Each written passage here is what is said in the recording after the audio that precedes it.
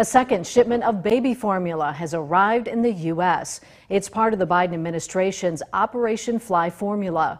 The flight from Germany delivered more than 100,000 pounds of formula. It's headed to a distribution facility in Pennsylvania and then to stores and hospitals. President Biden invoked the Defense Production Act last week to get more formula made faster. Food is the first and most important way we nurture our children. The FDA says the baby formula factory in Michigan that closed down earlier this year should reopen in a couple of weeks.